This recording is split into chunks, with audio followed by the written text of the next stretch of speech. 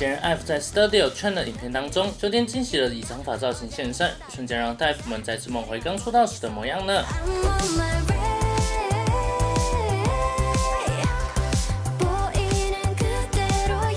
没想到在昨天和今天的舞台上，秋天都再次带来了长发的造型，那又美又帅的风格，真的没有办法抗拒。难道秋天也和我一样对长发上瘾的吗？